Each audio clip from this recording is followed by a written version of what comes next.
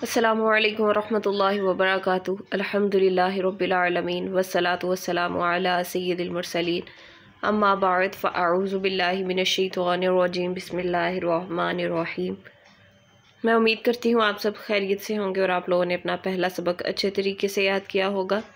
آج تجوید کے ساتھ قرآن پاک سیکھنے کا جو لیکچر ہے، اس میں ہم سورہ نساء کے نیکسٹ رکوع کو پڑھیں گے۔ پانچواں پارہ آج ہم شروع کریں گے۔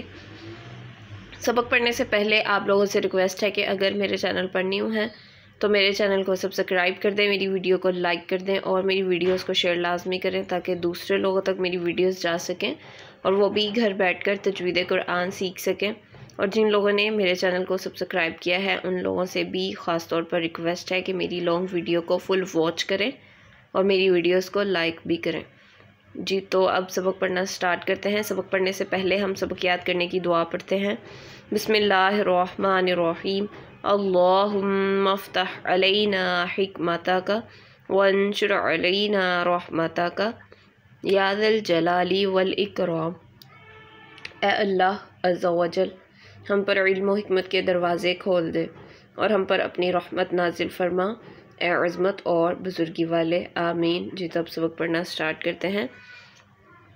والمحصنات من النساء إلا ما ملكت أيمانكم كتاب الله عليكم وأحل لكم ما وراء ذلكم أن تبتغوا بأموالكم محصنين محصنين غير مسافحين فما استمتعتم به منهن فآتوهن أجورهن فريضة ولا جناح عليكم فيما تراضيتم به من بعد الفريضة.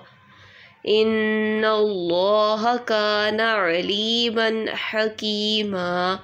ومن لم يستطع منكم طولا أن ينكح المحصنات محصنات المؤمنات فمما ملكت أيمانكم من فتياتكم المؤمنات.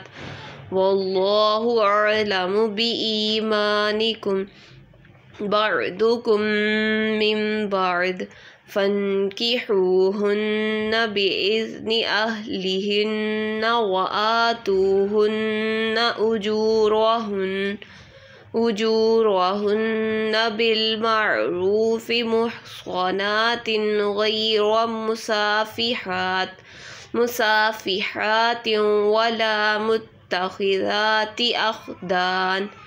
فإذا أحسن فإن آتين بفاحشة فعليهن.